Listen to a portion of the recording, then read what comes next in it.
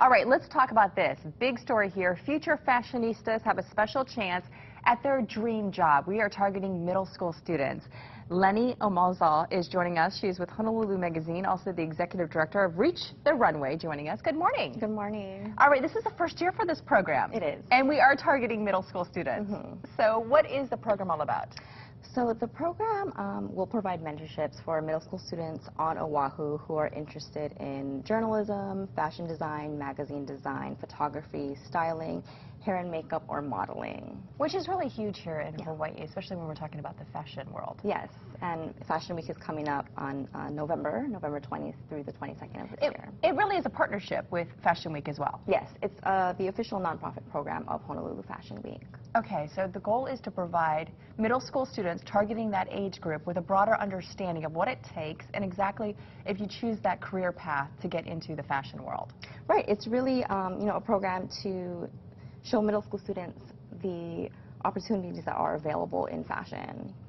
Okay, um, what do students need to do? Because this is the first year for it. It is the first year, um, so they need to go online to reachtherunway.com and there's an application.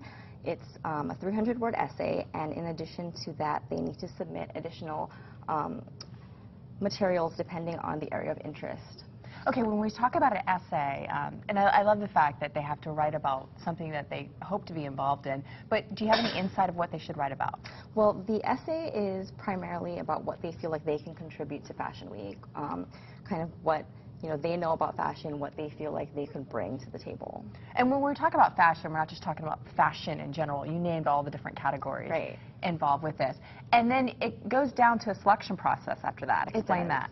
Um, so the selection process will involve myself and our director, Stacy Makia, as well as the mentors that we have lined up, and we'll go through all of the applications and select up to three students for each category. How many categories are there? There are seven. Seven categories, three students for each category, so about 21 students. Um, I would imagine this is going to get very competitive.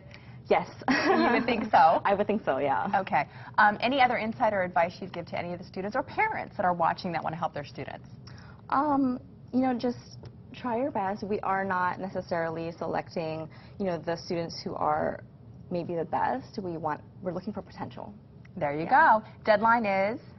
June 30th. June 30th. All right, we'll have all this information again on our website, which is kitv.com. We'll also have some of this on our Facebook page after the show. We'll add that to that. Thank you for coming in, Thank Lenny. you. Thank you for Good to see me. you.